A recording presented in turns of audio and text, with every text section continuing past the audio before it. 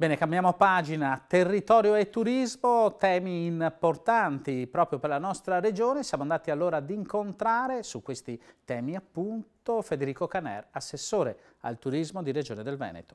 Si delinea un nuovo orizzonte per i Colli Euganei, vista la recente consegna del dossier che candida i dolci pendia al programma MAB UNESCO, un'azione che avvia un processo negoziale che si concluderà nel 2024. Dite incrociate quindi per quello che potrebbe essere un valore aggiunto all'intero comparto territoriale e turistico.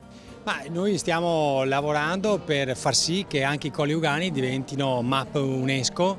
Eh, noi abbiamo già nove siti UNESCO nella regione Veneto, eh, ormai insomma, diciamo, il procedimento è a buon punto e grazie a questo nuovo inserimento noi possiamo dire che il Veneto è diciamo, all'avanguardia anche da questo punto di vista, nel senso che gran parte del proprio territorio, le parti più belle, naturalistiche, ambientali, eh, diventano patrimonio dell'UNESCO. L'area proposta dal governo italiano quale riserva della biosfera interessa una superficie di 35.000 ettari coinvolgendo l'intero territorio dei 15 comuni del Parco regionale dei Colli Euganei. L'importante è che cresca questa cultura a livello territoriale non soltanto da parte di chi fa turismo o ricettività ma anche delle persone che ci abitano all'interno di queste aree. Ci vuole un cambio di mentalità perché il cittadino in primis deve rendersi conto che vive all'interno di un patrimonio dell'UNESCO e quindi bisogna avere conoscenza e rispetto del nostro patrimonio. Solo così possiamo pretendere che anche i turisti che vengono da noi possano capire che quel concetto di sostenibilità è importante. Se noi per primi non trasmettiamo